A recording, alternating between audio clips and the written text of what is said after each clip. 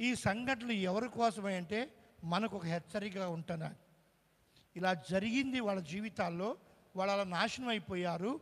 మీరు అలా కాకుండా జాగ్రత్తగా ఉండమని దేవుడు మనల్ని హెచ్చరిస్తున్నాడు. ఎంతమంది నమ్ముతారు ఈ మాట? అటా చెబుతారులే వాళ్ళు అంతేలే వీళ్ళు ఇంతేలే వాళ్ళ మాటని. వాళ్ళు అలాగే అన్నారు. మోసే మాట వినాలా ఏంటి? మోసేకే దేవుడా మన దేవుడు కాడా? రెండు వందల యాభై మంది ఏకమయ్యి మోసే మాట ఏంటి? దేవుడు నీతో మాట్లాడతాడా? నువ్వు చెప్పింది నెలా నువ్వే పెద్ద గురువా? ఏ దేవుడు మాకు లేడా? దేవుడు మాతో మాట్లాడ్డా? అని రెండు వందల యాభై మంది ఎదురు తిరిగి ఏమైపోయారు? ఆ కోపాన్ని మాత్రం దేవుడు మోస కూడా అడ్డుపడలా. అయ్యా వాళ్ళని చంపొద్దల్లా. వదిలేసాడు వాళ్ళని. వదిలేశాడు మోస కూడా. వదిలేసాడు వెంటనే వెంటనే అదే మోస అడ్డుపడితే బతికే వాళ్ళేమో నేను చాలాసార్లు ఆలోచిస్తా ఎందుకు వాళ్ళ కోసం మోస అడ్డుపడలా? ఎందుకయ్యా వద్దయ్యాని? ఎందుకంటే వాళ్ళు అన్న మాట ఏంటంటే నీకే దేవుడా? నీతోనే మాట్లాడతాడు దేవుడు. నువ్వు చెప్పిందే వినాలా? నువ్వు చెప్పినట్టు అరే పంపించింది పంపించింది ఆయనరా నన్ను? నేను వెళ్ళను అని చెప్పా. నేను రాను అని చెప్పా. నన్ను పంపించుడు ఆయన. ఆయన కోసం ఈ మాటలు పడుతున్నా. ఆయన కోసం ఈ బాధపడిస్తున్నా. ఆయన కోసం ఈ కష్టాలు ఎదుర్కొన్నా. ఆయన గురించే. ఆయన మాట నేను తీసేయలేను. ఆయన మాట నేను కాదనలేను మోసే ఆయనకు భయపడి బతుకుతుంటే వీళ్ళు రెచ్చిపోయి మరీ మాట్లాడుతుంటే ఇక అలాంటి వాడు ఏం చేస్తాడైనా వదిలేశాడు నువ్వేమన్నా చేసుకోండి స్పాట్లో చచ్చిపోయారు.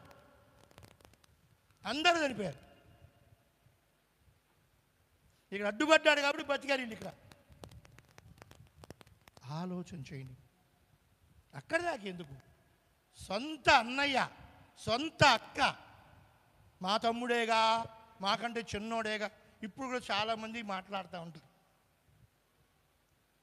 ఒకవేళ నీ తమ్ముడు దేవుని ఆత్మ కలిగిన వాడైతే నీ తమ్ముడు దేవుని చేత నడిపించబడేవాడైతే నీ తమ్ముడు దేవుడు ఎన్నుకున్నవాడైతే నువ్వు అన్నవైనా తండ్రివైనా ఆయన మాట వినాల్సిందే నువ్వు. వినాల్సిందే? ఎందుకంటే దేవుడిని ఎన్నుకున్నాడు ఆయన. మోషేని దేవుడు ఎన్నుకున్నాడు. మోషేని దేవుడు దేవుడు పంపించాడు. మోషేతో దేవుడు ఉన్నాడు. ఎర్ర సముద్రం ఒడ్డొచ్చింది. ఇస్రాయల్ ప్రజలందరిని బట్టి సముద్రాన్ని పాయలు చేయలా. మోషేని బట్టి చేశాడు. ప్రభువా ఏం చేయాలయ్యని అడు ఏ చూస్తావేంటి? నీ చేతిలో కర్ర ఉందిగా. నీ అచ్చిన అధికారం ఉందిగా ఉపయోగించన్నాడు అంతే. ఎన్నో సందర్భాలు ఎన్నో పరిస్థితులు. మోషే మోషే కష్టాల్లో బాధల్లో నిందల్లో అవమానాలు మోషే దేవుడితోనే ఉన్నాడు. దేవుడు కూడా మోషేతోనే ఉన్నాడు. ఉన్నాడు ఉంటాడు. కళ్ళతో చూశారు అందరు ప్రజలు. ఆరోను మిరియాము కూడా చూశారు. వాళ్ళ తమ్ముడు మోషేకి దేవుడు ఎంత తోడుకుంటున్నాడో మోషే ప్రార్థన చేస్తే ఏం జరుగుతుందో మోసే నాయకత్వంలో దేవుడు ఎలా తోడున్నాడో కళ్ళతో చూశారు. చూసి కూడా ఒక సందర్భంలో తమ్ముడు మా తమ్ముడేగా మాకంటే చిన్నోడేగా ఈడి సంగతి ఏంటి ఈడేంటంట అన్నట్టుగా భావించారేమో అని అనుకుంటాం. వారి ప్రయాణంలో కూసు దేశం వచ్చినప్పుడు మోషే ఏం చేశాడంటే అక్కడ ఒక స్త్రీని పెళ్ళి చేసుకున్నాడు. దానికి కోపం వచ్చింది వీళ్ళకి సొంత అన్నయ్య అక్క ఇడు తమ్ముడు బుత్తకు పనిచేశాడు లక్షల మంది ప్రజలకు న్యాయం తీర్చేవాడు నాయకత్వం వహించేవాడు నడిపించేవాడు బోధించేవాడు దేవుడు నన్ను ఉన్నాడు అని చెప్పుకున్నాడు. మరి ఈడు చేసిన పని ఏంటి? ఈ తప్పుడు పని చేసినోడి అని చెప్పి కోపం వచ్చింది. కోపం వచ్చి సర్వ సమాజం ఎదుటినే గద్దించారు మోషే. ఏంట్రా నువ్వు చేసిన పని? తప్పుడని తిట్టారు. మోషే ఒక మాట అన్నాడు. తిట్టింది అన్నయ్య అక్కే. తమ్ముడేగా చనువు అనుకుంటా. వీడు తప్పుడు పని చేశాడని కోపంతో అన్నారు మోషే ఒక మాట అన్నాడు. దేవుడు నాతో మాట్లాడాడు. నేను ఈ పని చేశా అన్నాడు. అంటే దేవుడు నాకు చెప్పాడు నేను చేశాను ఏంటి? దేవుడితోనే మాట్లాడతాడా? మాతో మాట్లాడ్డా? అని మళ్ళీ ఎదురు చెప్పాడు. దేవుడు నాకు చెప్పాడు అని చెప్పిన తర్వాత కూడా మళ్ళీ రెట్టించి మాట్లాడతాడు. మోషేకి బాధ వేసింది. మోషేకి ఏ బాధ వచ్చినా ఏ సమస్య వచ్చినా మోషే ఎవరిని అడుగుతాడని దేవుడు చెప్పుకుంటాడు ఇది. ఏంటి దేవా ఇలాగయ్యా ఇది పరిస్థితి అయ్యా అన్నాడు. అయితే ఒక పని చేయ రేపు పొద్దున్నే అందరినీ ఇస్రాయిలు సర్వ సమాజాన్ని పాలెం వెలుపుడు రమ్మను. అంటే మైదానం ఖాళీ స్థలం. అలాగే నీ అన్న నీ అక్క అని నా భాషలో చెప్తున్నా మీకు అర్థం ఆక ఆరోని మిరియామని రమ్మను. నేను మాట్లాడతాను. మోషే వచ్చాడు. రేపు ఉదయం అందరినీ దేవుడు రమ్మన్నాడు పేడం వెళ్ళిపటికి మీ ఇద్దరు కూడా రమ్మని వస్తారా? ఏంటి బుద్ధకు కూడా తప్పుడు పని చేసింది కాకుండా ఇంకా ఎదురు మాట్లాడుతున్నావా? దేవుడిని వంక పెడుతున్నావా? దేవుడు చెప్పాడునా? దేవుడు వస్తావా ఏంటంట? బుద్ధకు పని చేసి అని ఎదురు మాట్లాడుతున్నాడు. ఇక్కడ నేను అనుకుంటాను వీళ్ళు లోక మర్యాద చొప్పున ఆలోచిస్తే వీళ్ళది రైట్. ఈ లోకములో ఉన్నటువంటి పద్ధతుల ప్రకారం చూస్తే మోసే చేసింది చాలా తప్పు. ఇది లోకంలో ఉన్న చట్టం ఇది. లోకములో ఉన్న విధానం లోకము కొన్ని విషయాలు తప్పు అంటది కొన్ని విషయాలు మంచి అంటది. అది లోకపు న్యాయం అది. లోకపు తీర్పు అది. లోక విధానం అది. కానీ పరలోక విధానం వేరుగా ఉంటుంది. పరలోక చిత్తం వేరు తెలియదు అందుకే దేవుడు అన్నాడు మీ తలంపులు వేరు నా తలంపులు వేరు. మీ ఉద్దేశాలు వేరు నా ఉద్దేశాలు వేరు. మీ ఆలోచనలు వేరు నా ఆలోచనలు వేరు. మీ చిత్తమే వేరు నా చిత్తమే వేరు. ముందే చెప్పాడు ఆయన. మీ తలంపుల వంటివి కాదు నా తలంపులు. అంటే మీ ఆలోచన లాంటివి కాదు నా ఆలోచన నా ఆలోచనలు వేరుగా ఉంటాయి. ఆయన సంకల్పాలు వేరుగా ఉంటాయి. అది ఎవడు గ్రహించగలడు? అది దేవుని వెంబడిస్తే దేవుడి స్వరం వినేవాడైతే నేను అర్థమవుతుంది వాడికి. అది అందరికి అర్థం కాదు. పాపం వీళ్ళ ఆలోచన ప్రకారం చూస్తే మా తమ్ముడు తప్పు చేశాడు ఇద్దరు పిల్లలు తండ్రి వీడు మంచి కొడుకులు ఉన్నారు మా వదిన సిప్పోరాకు మోసం చేశాడు అన్యాయం చేశాడు దుర్మార్గుడు అయిపోయాడు నీతి మాటలు చెప్పేవాడు నీతులు చెప్పేవాడు న్యాయం చెప్పేవాడు నాయకుడు అని చెప్పుకునేవాడు. వీడు తప్పుడు పని చేశాడు. కోపంతో అన్నాడు. అన్నప్పుడు అన్నాడు దేవుడు మాట్లాడంటే అప్పుడైనా ఏంటి దేవుడా నువ్వు మాట్లాడే ఉన్నాడు ఏంటి అని అడగాలి. అడగలా. అడగలా. మేము పెద్దవాడు నువ్వు చిన్నోడు అన్న కోపంతో సీరియస్ అయిపోయి ఇంకా తిట్టారు. అందుకే దేవుడు రమ్మన్నాడు బయట అందరూ వచ్చారు. మేము వస్తాం పరా ఏంటంటే మాకేం భయమా? అన్నట్టు మళ్ళీ ఇంక మోషన్ గురించి మాట్లాడతాం. ఈనాటి సమాజములో కూడా ఇలాంటి వాళ్ళు చాలామంది ఉంటారు. ఉంటారు. భయం లేని వాళ్ళు దైవ చిత్తం ఎరగని వాళ్ళు. దేవుని ప్రణాళిక తెలియని వాళ్ళు. దేవుడు సంకల్పం అర్థం కాని వాళ్ళు. లోకాన్ని బట్టి నడిచేవాడు. ఇలాంటి వాళ్ళు ఇప్పటికీ ఉన్నారు. వచ్చారు అందరూ. అందరూ పాలెం విడుపుకి వచ్చారు. మోస కూడా ఉన్నాడు అక్కడ. దేవుడు మేఘములోకి దిగొచ్చాడు.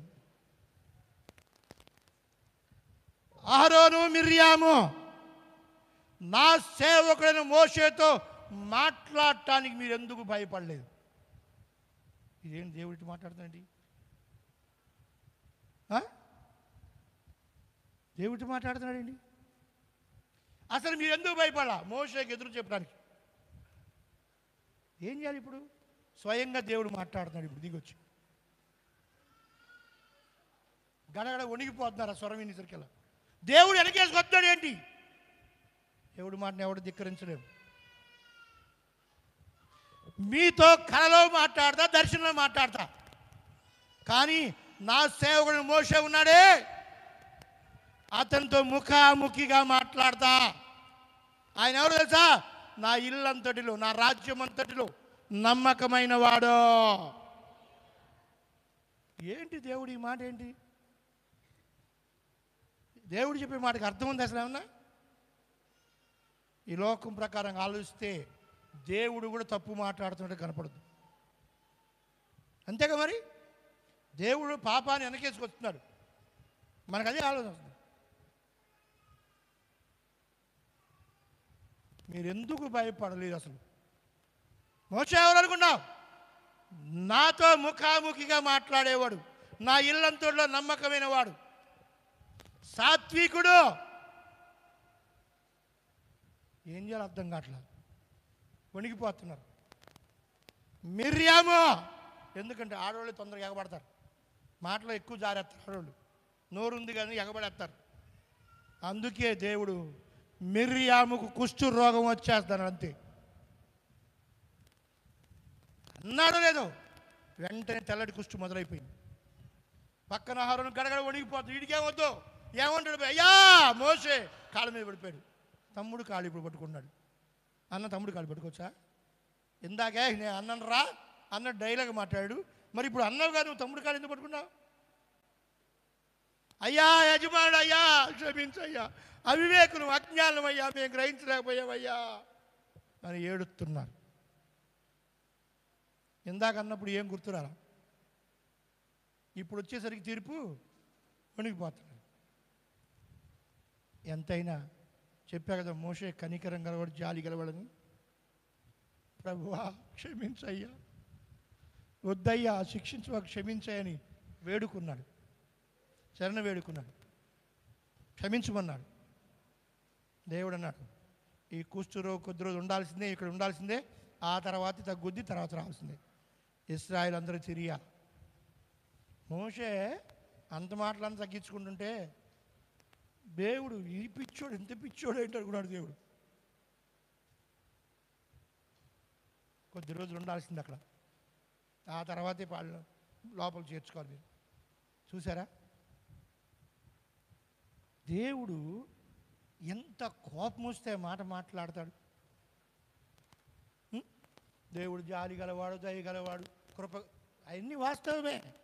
ఎప్పటి వరకు? నువ్వు అర్థం చేసుకునేంతవరకు నువ్వు ఇంకా రెచ్చిపోతే ఇంకా నీ ఇష్ట ప్రకారంగా ఎన్ని మారు దేవుడు గద్దిస్తున్నా ఎన్ని మారు నీతో మాట్లాడుతున్నా నీ జీవితం మార్చుకోకపోతే ఇదే గతి అందరికి వస్తుంది. అవును. అసలు వాళ్ళు అరణ్యంలో శవాలు అయిపోవాల్సింది అన్నాడు దేవుడు. మరి ఆ శవాలు కూడా ఎట్టాగో తెలుసా మళ్ళీ? వాళ్ళ ప్రయాణం అంటే ఐగుప్తు నుంచి ఈ కనానుకు చేరటానికి నాలుగు రోజులు చాలు. నాలుగు రోజులే ప్రయాణం. అలానే ఎన్ని సంవత్సరాలు పట్టింది? నలభై సంవత్సరాలు పట్టింది. కారణం తెలుసా? అవిధేయత తిరుగుబాటుతనం. ఇవన్నిటి వల్లే ఒక మనిషి దీవించబడాలి అంటే ఎన్నో సంవత్సరాలు అవసరం లేదు. అవసరంలా నువ్వు దేవునికి విధేయతగా ఉంటే నీ మాటలో తేడా లేకుండా ఉంటే నువ్వు తగ్గించుకునేవాడివైతే నువ్వు ఓర్చుకునేవాడివైతే దైవ స్వరానికి భయపడేవాడివైతే దైవ లేఖనానికి విధేయుడివైతే దేవుని మార్గం నడిచేవాడివైతే సనగకుండా గొనకుండా లోపల తిట్టుకోకుండా పిచ్చ మాటలు మాట్లాడకుండా పళ్ళు కొరక్కుండా మూతి ముప్పై మూడు వంకలు తిప్పకుండా బతికే బిడవైతే ఎన్నో సంవత్సరాలు అవసరం అవసరంలా?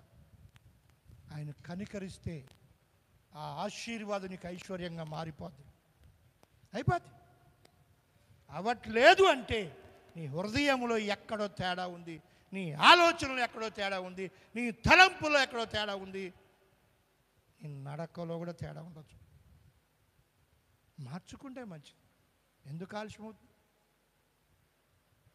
చేరరు రాలిపోతారు అని చెప్పేసి ఆ చెప్పిన దేవుడు కాలే మాత్రం చచ్చిపోడు. కాలే బావుడు కాలేవు చేరతాడని చెప్పేశాడు. ఎందుకంటే మంచి మనసు ఉంది వాడికి. లోబడతాడు. విధేయుడిగా ఉంటాడు. హృదయపూర్వకంగా నా మాట వింటాడు. ఎక్కడ ఒక్క మాట కూడా కాని మాట పలకడు అని చెప్పేసి దేవుడు మాట్లాడాడు. చదువు ముప్పై వచ్చిన కాంచి ఎప్పుడునే కుమారుడైన కాలేబు? నూనె కుమారుడు యహోశ్వాయు తప్ప మేము నివసింప చేయుదునని నేను ప్రమాణం చేసిన దేశమందు మీలో ఎవరు ప్రవేశింపరు. ఇది నిశ్చయము. వాళ్ళిద్దరు తప్ప మీ ఇంకెవరు వెళ్ళరు. అక్కడి నుంచి వచ్చిన పెద్దవాళ్ళు ఎవరు? మిగతా వాళ్ళు చచ్చిపోవాల్సిందే. శాస మరణ శాసనం రాస్తున్నాడు దేవుడు. అయితే వారు కొల్ల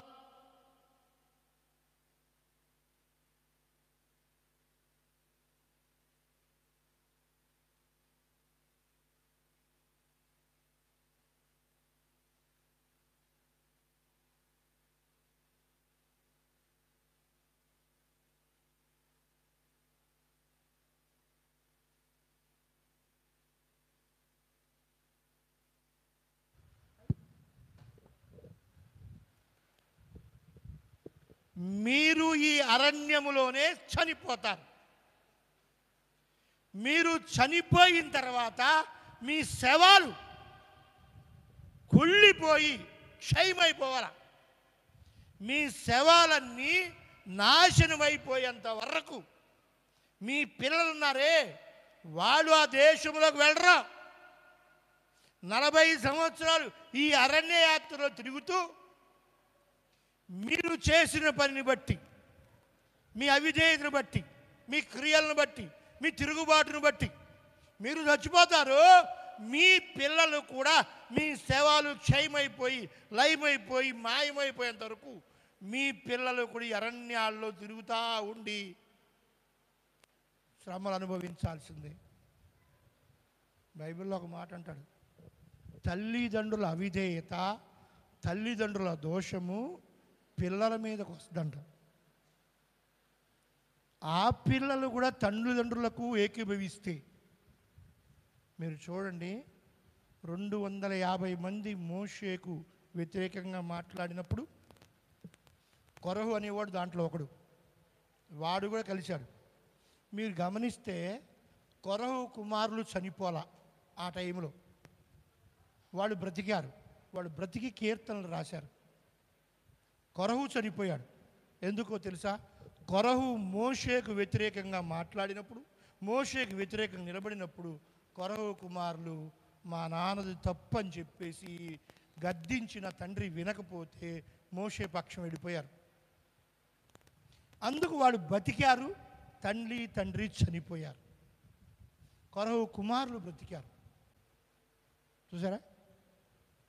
తల్లిదండ్రుల పాపదోషము పిల్లలకు తరతరాలకు వద్దన్నాడే ఆ తరతరం ఎప్పుడు వస్తుందంటే వీళ్ళు కూడా వాళ్ళతో ఏకీభవించినప్పుడు. వీళ్ళు కూడా వాళ్ళలాగా ప్రవర్తించినప్పుడు. అలా ప్రవర్తించమని సత్యము గ్రహించుకొని దేవుని పక్షం నిలబడితే వీళ్ళు నశించిపోరు. వీళ్ళు నష్టం రాదు. వీళ్ళ కష్టాలు రావు. వీళ్ళకి ఇబ్బందులు కలగవు. ఎందుకని దేవుడు వారి పక్షం ఉంటాడు ఈ ప్రజలు శవాలుగా మారిపోయి అవి క్షయమైపోయేంతవరకు మీ పిల్లలు కూడా నలభై సంవత్సరాలు ఈ అరణ్య యాత్రలో ఎన్ని శ్రమలు ఎన్ని కష్టాలు ఎన్ని బాధలు. కారణం ఏంటయ్యా అంటే నాలుగు రోజులు ప్రయాణం నలభై సంవత్సరాలు పడటానికి కారణం తల్లిదండ్రుల అవిధేయ తిరుగుబాటు కాదా? ఆలోచించని నాకు బలం ఉందని నాకు ధనం ఉందని నాకు తెలివి ఉందని నాకు విద్య ఉందని నేను బలవంతుడని నేను శక్తివంతుడని అనుకోవటానికి మనం దేవుని కంటే బలవంతులమా? దేవుని కంటే జ్ఞానవంతులమా? దేవుని కంటే శక్తివంతులమా? దైవ లేఖనం కంటే గొప్ప మాటలు మనకున్నాయా? ఈ మాటల కంటే నీ మాటలు ఏమైనా గొప్పదా? ఆలోచించండి ఒక్కసారి. ఇలాంటి పరిస్థితి మీ పితరులకు జరిగింది సంఘమా? ఇప్పటికైనా రండి! యహోవ యొద్దకు రండి! సాగిన పడదాం రండి. మనం సృజించిన యహో దగ్గర మోకరిద్దాం రండి. దేవుడు చెప్తుంటే పిల్లల మాట తల్లిదండ్రులు తల్లిదండ్రుల మాటలు పిల్లలు వింటం దేవుడికి వ్యతిరేకం అవటం చెడిపోవటం. ఇవాళ సమాజం అదే జరుగుతుందిగా? అదే జరుగుతుందిగా? ఆనాడు ఏం జరిగిందో వాళ్ళు ఎలా నాశనం అయిపోయారు ఇవాళ అలాగే జరిగించుకొని నాశనానికి వెళ్తావా? నాశనానికి వెళ్తావా? ఆలోచించండి. గుణదల సంఘంలో బైబుల్ ట్రైనింగ్ అయ్యేటప్పుడు ఒక సంఘ పెద్ద ఉండేవాడు ఆయన మంచి ప్రార్థన చేసేవాడు. ఆయన ప్రార్థించి దెయ్యాలు కూడా పోయాయి. ఆ సంఘ పెద్ద దెయ్యాలు వదిలిచ్చేవాడు మంచివాడు ఆయన. అయితే రత్నం పాస్టర్ గారు అక్కడ వాక్యం చెప్పాడు ఒక పరిస్థితి వచ్చింది. వాక్యంలో పాస్టర్ గారు వాళ్ళ అబ్బాయిని గద్దిచ్చాడండి గద్దిస్తే వాడు కోపం వచ్చింది. నన్ను నా ఫ్రెండ్స్ ముందు తిడతాడు ఆ పాస్టర్ గారు. చే నేను ఆ చర్చికి రాను. అని అని మీరు వెళ్ళబాకండి ఆ చర్చికి అని వాళ్ళ అమ్మా నాన్న చెప్పాడు. వాళ్ళ అమ్మా నాన్న చెప్పాడు. అంటే మా పిల్లోడు పరువు తీశాడు పాస్టర్ గారు. మా పిల్లోడికి విలువ తీసి పారేశాడు అని చెప్పేసి ఈ తల్లిదండ్రులు ఏకీభవించి కొడుకు మాట విని వీళ్ళు గుడి మానేశారు. వీళ్ళు గుడి మానేశారు. పాస్టర్ గారు ఏం పట్టించుకోడు ఏంటమ్మా రావట్లేదంటే "ఆ, ఏమంటాను అయ్య గారు కుదరట్లేదులే అంటున్నారు. అని తప్పించుకుంటున్నారు. వాళ్ళకి ఇష్టం ఉంటే ఏదన్నా కార్యక్రమం ఉంటే చర్చిలో సంఘ పెద్ద కదా కార్యక్రమం ఉంటే రాకపోతే బాగుంటుంది కనపట్టం మిగతా రోజులు రా మానటం అంటే వాడికి ఇష్టం ఉంటే వచ్చి అట్లా ఆనించుకొని నిలిపడం తప్ప కార్యక్రమాల్లో పాల్గొనట్లు.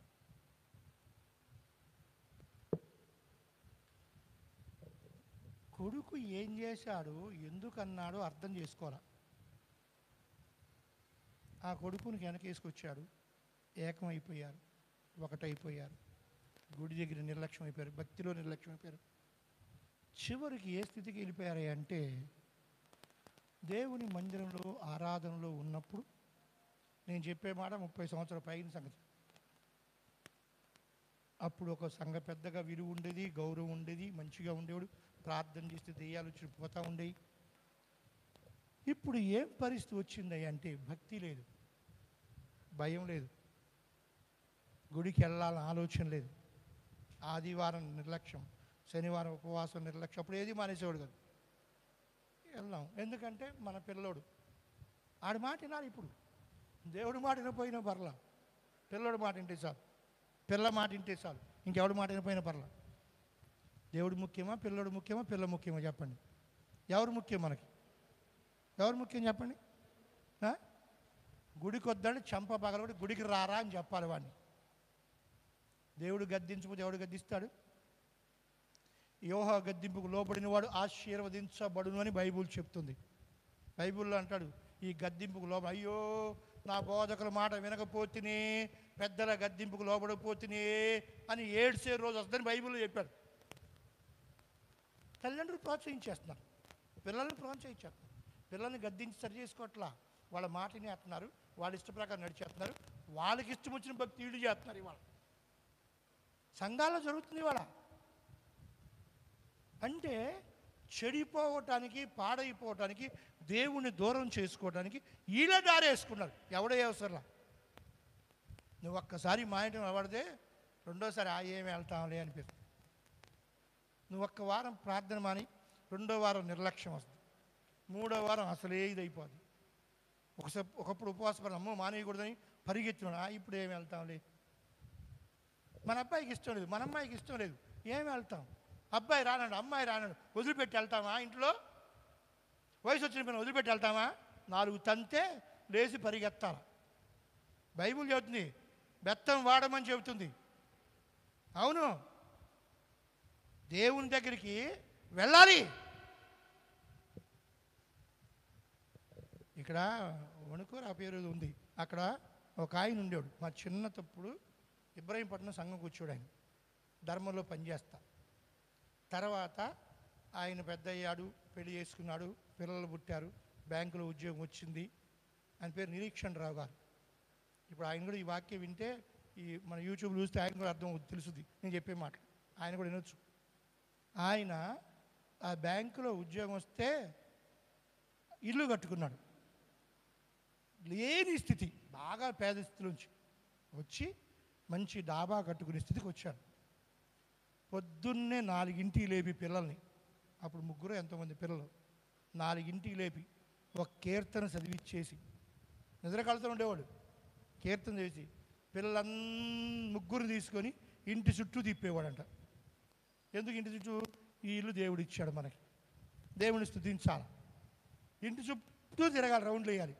ఇస్రాయల్ ప్రజల కనుక ఇటు తిప్పేవాడంట. కొంతమంది ఏడ్చేవాడు బెత్తం తీసి బాధేవాడంట సురుకు పుట్టేసి ఏడుతారు తిరిగేవాళ్ళంట ఉన్నాడు ఇప్పుడు ఆయన ఇప్పుడే ఉన్నాడు.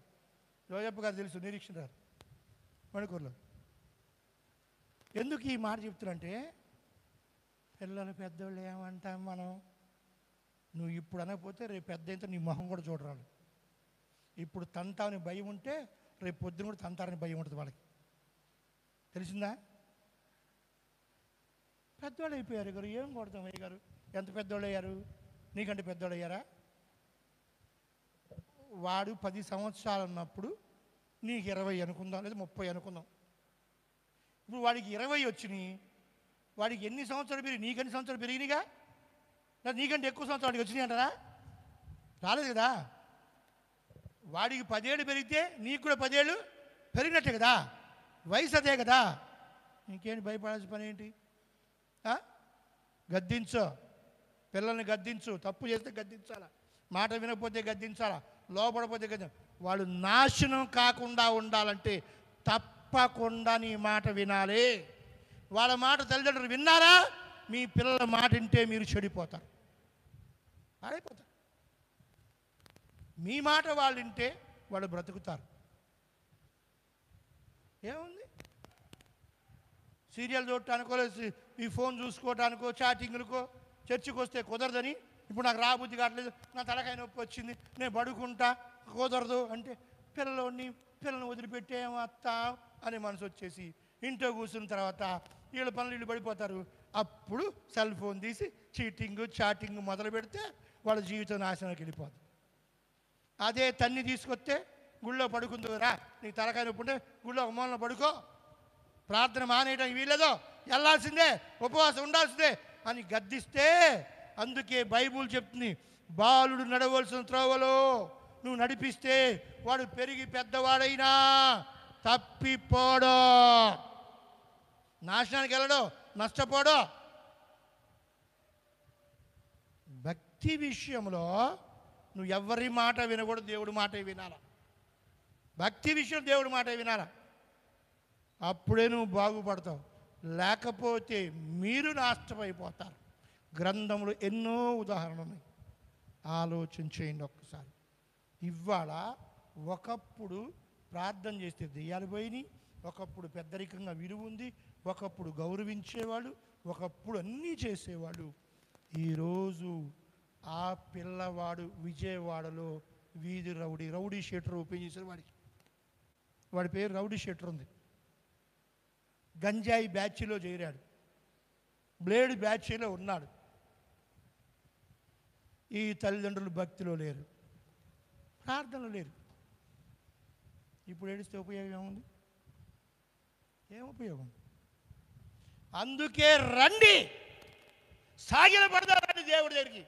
మాకరిద్దాం రండి. మరపెట్టుకుందాం రండి. మనల్ని సృజించిన యహోవా సన్నిధి మానేయొద్దు అని గ్రంథంలో దేవుడు చెప్తున్నాడు. ఈ రోజులు ఎలాగున్నాయంటే తల్లిదండ్రులు పిల్లల మాట వినే పరిస్థితికి వెళ్ళిపోయారు. పిల్లలు తల్లిదండ్రుల మాట వింటాం కాదు. పిల్లల మాట తల్లిదండ్రులు ఏ పరిస్థితికి వెళ్ళారు.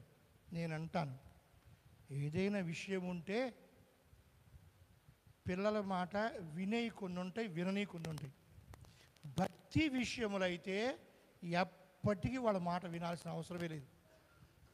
దేవుని ఆరాధన విషయములైతే దైవ సన్నిధికి వెళ్ళే విషయములైతే అసలు వాళ్ళ మాటే వినాల్సిన అవసరం లేదు.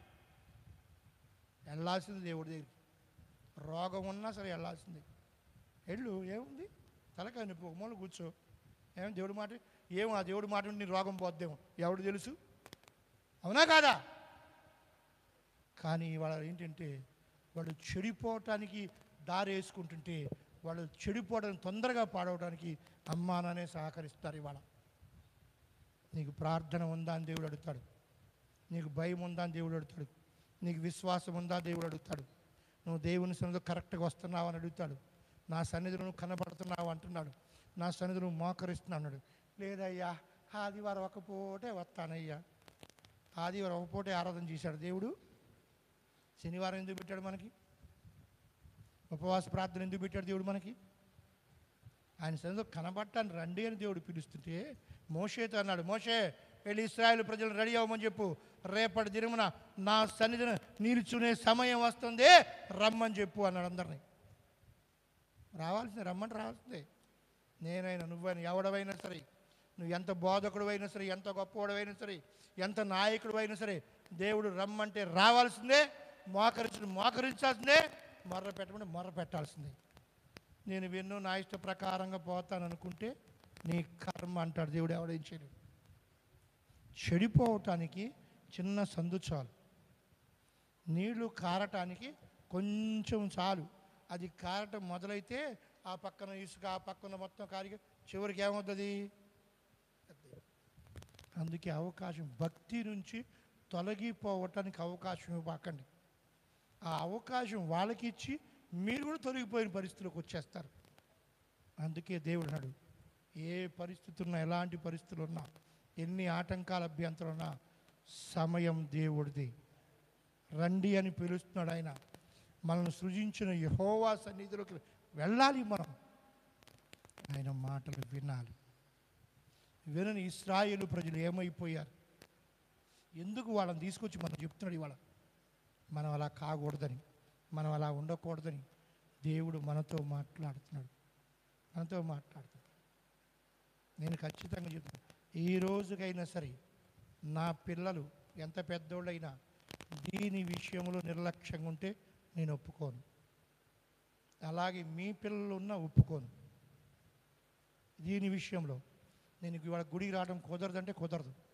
రావాల్సిందే. నాకు వర్క్ ఎక్కువ ఉందంటే వర్క్ తర్వాత చేసుకోవచ్చు. ముందు దేవుడు ఆరాధించుకో. అవసరమైతే పరీక్షలు మానిపించేసిన రోజులు ఉన్నాయి. అంతే. దేవుడి కంటే పరీక్ష గొప్పది కాదు.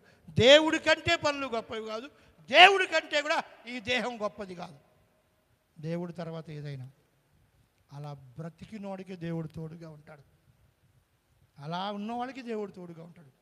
అలాంటి వాళ్ళ పట్ల దేవుడు అద్భుతాలు చేస్తాడు. ఆశ్చర్యకార్యాలు చేస్తాడు. మహిమను చూపిస్తాడు. తను ఉండలేడు వాళ్ళు వదిలిపెట్టేసి. వాళ్ళని వదిలిపెట్టి ఉండలేడు. ఇలాగ నువ్వు బ్రతకాలని దేవుడు కోరుకుంటున్నాడు. ఆలోచన చేయండి ఒక్కసారి. భక్తి నిర్లక్ష్యం చేయొద్దు. ప్రార్థన నిర్లక్ష్యం చేయొద్దు. వంకలు పెట్టొద్దు. వంకలు పెట్టద్దు. మన చేతిలో చాలామంది వర్క్ ఉన్నోళ్ళు ప్రార్థన జరిగిన తర్వాత వర్క్ రాసుకున్న వాళ్ళు ఉన్నారు. ఒక గంట సేపు కూర్చున్న వాళ్ళు ఉన్నారు. ప్రార్థన అయిన తర్వాత రాసుకున్న వాళ్ళు ఉన్నారు. రికార్డులు రాసిన వాళ్ళు ఉన్నారు. దేవుళ్ళు ఎదిగిన వాళ్ళు ఉన్నారు. దీవించబడిన ఉన్నారు. అలా లేని వాళ్ళే ఇవాళ ఏడుస్తున్నారు. ఉన్నవాళ్ళు మాత్రం దీవించబడ్డారు. అందుకే నేను అంటాను అవకాశం ఉన్నంత వరకు భక్తికి నిర్లక్ష్యం చేయబాకు. ప్రార్థనలు మానేయబాకు. నువ్వు మానేస్తే నాకు వచ్చే నష్టమే లేదు. నీకు నష్టం కలుగుద్ది. నీ కుటుంబం నష్టం పోద్ది. వారు మాట వినని ప్రజలయ్యారని దేవుడు స్పష్టంగా చెప్పాడు. మోషే అడ్డుపడి ప్రాణం ఆపడినా తర్వాత మాత్రం వాళ్ళ ప్రాణం అరణ్యంలో పోవాల్సినాడు దేవుడు. ఇప్పుడు చావపోయినా తర్వాత చావాల్సిన అన్నాడు దేవుడు. అంత దేవుని బాధ పెడితే దేవుడు ఎట్లా సహిస్తాడు చెప్పండి. ఎన్ని మార్లు గద్దించినా లోబడని వాడు హఠాత్తుగా గుర్తుపెట్టుకోండి. దేవుని సన్నిధిలో ఉండాలి మనం. దేవుడి మాట వినాలి మనం. వెళ్దాంలే నిర్లక్ష్యంగా. నేను ఒక్కటి చెప్తాను మిగతా రోజులు మీరు ఎలాగుంటారు నాకు అనవసరం. ప్రార్థన ఉన్న రోజు మాత్రం ప్రార్థన ఉన్న రోజు మాత్రం నువ్వు చాలా తొందరపడి దేవుడి దగ్గర రావాలి. ప్రార్థన నిర్లక్ష్యం వెళ్దాంలే తర్వాత వెళ్దాంలే కాసేపు ఆగి వెళ్దాం అన్నావా? దేవుడు నీతో ఉండడు. నీ పిల్లలతో కూడా ఉండడు గుర్తుపెట్టుకో. నువ్వు ఎంత తొందరగా దేవుడి మందిరికి వెళ్ళాలని ఆశపడతావో అంత తొందరగా దేవుడిని దీవించాలని కోరుకుంటాడు. చాలామంది నిర్లక్ష్యం వల్ల నష్టపోతున్నారు. భక్తి ఉంది సుఖం లేదు నిర్లక్ష్యం వల్ల నష్టపోతున్నారు. ఆలస్యం పెద్దోళ్ళు ఆలస్యం అమృతం విషయం అంటారే. ఆలస్యం అయిపోతే ఏదైనా నష్టపోతాను. దేవుని సన్నిధికి రావటం ఆలస్యం అవడం వల్ల నువ్వు చాలా దీవెనలు పోగొట్టుకుంటావు. అందుకే పెందలకడనే దేవాలయానికి వెళ్ళాలి? పెందలకడనే వెళ్ళాలి? వెళ్ళాలంటే వెళ్ళాలి అంతే. మీరు ఆరాధన తొమ్మిదింటికి వస్తున్నారు ఇక్కడికి. తొమ్మిదింటికి ఒక ఆరాధన నేను జరిగించి ఇక్కడికి వస్తున్నా. ఆరున్నర నేను ప్రార్థనకి వెళ్ళిపోతా అక్కడికి. అక్కడ ఆరాధన జరిగిస్తా. మీరు అప్పుడు లెగవరు కూడా లెగవరు ఇంకా. ఆదివారం లెగవకపోతే ఎట్టగా ఆదివారం ప్రార్థన వెళ్ళిపోవాలి ముందు. అనే తపన ఆరాటం ఉంటే నువ్వు పెందడ లేస్తావు. వెళ్దాంలే ఓ దాని చిరుకులు పడితే చూడు కత్త. వస్తానేమో చూడు. ఈ అడిగేది నువ్వు. దీనికోసం చూసేది పెందాడే బయలుదేరు.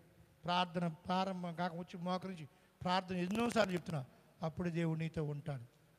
నాదేం లేదయ్యా పిల్లలు ఆలస్యం చేస్తున్నారయ్యా. నాలుగు తంతే పిల్లలు నీకంటే ముందు రెడీ అవుతారు. పిల్లలు వంక పెట్టద్దు ఎవరో?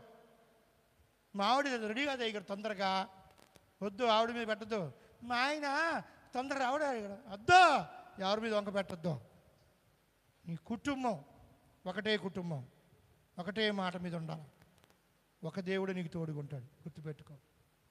అందుకే రండి సమయానికి రండి. దైవ సన్నిధిలో క్షమించే దేవుడు ప్రేమించే దేవుడు దీవించే దేవుడు ఆశీర్వదించే దేవుడు ఆదుకునే దేవుడు వర్ధిల చేసే దేవుడు నిన్ను గొప్పవాడిని చేసే దేవుడు రమ్మని పిలుస్తుంటే నువ్వు అశ్రద్ధ చేస్తే నష్టపోతావు జాగ్రత్త. ఇస్రాయిల్ పోయినట్టుకు పోవద్దు. నేడు కూడా కొంతమంది అలాగే బ్రతికే వాళ్ళు ఉంటున్నారు. మారండి. ఇప్పటికైనా మారండి. జీవితాలు మార్చుకోండి. ఆయన మాట వినండి. దైవాశీర్వాదాలు పొందండి. దేవుడు మీ అందరిని దీవించునుగాక. ప్రార్థన చేసుకుందాం. సర్వాధికారి సర్వశక్తిమంతుడా బలవంతుడా గొప్ప దేవుడా మీకు వందనాలు చెల్లిస్తున్నా మా ప్రభువ మా తండ్రి ఇదిగో నాయన ఈ పునరుద్ధాన దినముందు మీ బిడ్డలమైన మేము మీ మందిరంలో చేరి మీ నామాన్ని ఘనపరచటానికి ఆరాధించి మీ సన్నిధిలో జీవించటానికి మీ మాటలు వినటానికి కృప చూపించిన దేవుడా మీ కొందనాలు. విన్న మాటలు మా హృదయాల్లో పదిలపరుచుకుని సహాయం దయచు అలాగ నడుచుకుంటూ సహాయం దయచేని మా పితరులు తండ్రి మీ నుంచి నాయన దూరం అయిపోయి అరణ్యంలో రాలిపోయినట్లుగా మేము ఈ లోకంలో రాలిపోకూడదు నాయన. మీ రాజ్యము చేరే పర్యంతము నమ్మకంగా బ్రతకడానికి సహాయం దయచేని మాట్లాడిన ప్రతి మాట మీ మాటగా నమ్ముకుని జీవించే కృప మాకు దయచేయమని. ఎందరైతే ఈ మాటలు విన్నారో. వారందరూ మీ మాట ప్రకారంగా నడుచుకున్నటకు వర్ధినుటకు సహాయం దయచేయండి. మీ కృప మీ కనికరం మీ శాంతి మీ సమాధానం దయచేయండి. ముఖ్యంగా తండ్రి ఈ వాతావరణం అనుకూలం లేక వేలాది మంది ప్రజలు అల్లాడిపోతున్నారయ్యా. దయతో మన్నించండి. వారిని ఆదరించండి. వాళ్ళని ఆదుకోమని అడుగుతున్నాం ప్రభా సహాయం దయచేయండి అయినా మీరు కృప చూపించండి. దేవా మీ కొందనాలు సహాయం చేయమని అడుగుతున్నాం ప్రభా తండ్రి మీ నామాన్ని మహిమపరచినట్లుగా మా జీవితాలు ఉంచమని మమ్మల్ని దీవించమని ఏసయ్య అతి పరిశుద్ధ నామమున అడిగి వేడుకొంచున్నాము తండ్రి. ఆమెన్. హల్లెలూయా. హల్లెలూయా.